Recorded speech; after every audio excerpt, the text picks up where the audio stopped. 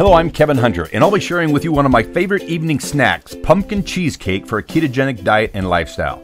We're going to start with three packages of cream cheese, some heavy whipping cream, maple syrup, 15 ounces of canned or fresh pumpkin, some ginger, nutmeg, allspice, we can't forget cinnamon, and of course, five eggs. So let's get started. You're going to put your pot on low heat on the stove top. And then we're going to put in the three 8 ounce cream cheese packages. As I said earlier, make sure the heat is on low. We're just going to melt these down. We're going to add in one cup of heavy whipping cream. And then just chop up the cream cheese to help it break down. Put a little cover on it, overheat for a few minutes, and then whip it with a wire whip to help smooth it out.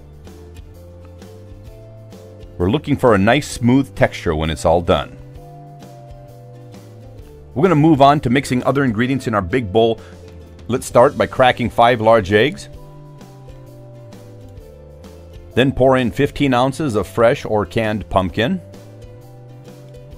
a quarter cup of maple syrup, Mix it up with a wire whip so it's all nice and smooth. And then we're going to put in three teaspoons of cinnamon, one teaspoon of nutmeg,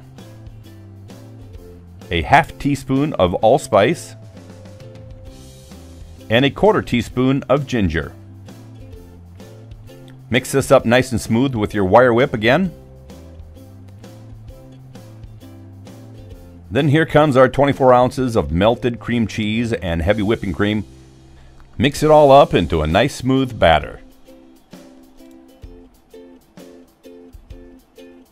We're going to pour this into a 9x13 cake pan and no butter or oil is required. It's ready to go into the oven. You should have your oven preheated to 325 degrees and this will bake for 50 minutes. When it comes out, it will have a nice golden brown top. A recap of the ingredients list 3 8 ounce cream cheese, 1 cup heavy whipping cream, a quarter cup of maple syrup, 15 ounces of pumpkin, quarter teaspoon of ginger, 1 teaspoon nutmeg, half teaspoon allspice, 3 teaspoons cinnamon, and 5 eggs. This made 16 servings for 214 calories a serving. 19 grams are fat for 77%. 9 grams are carbs 15%. 5 grams protein 8%.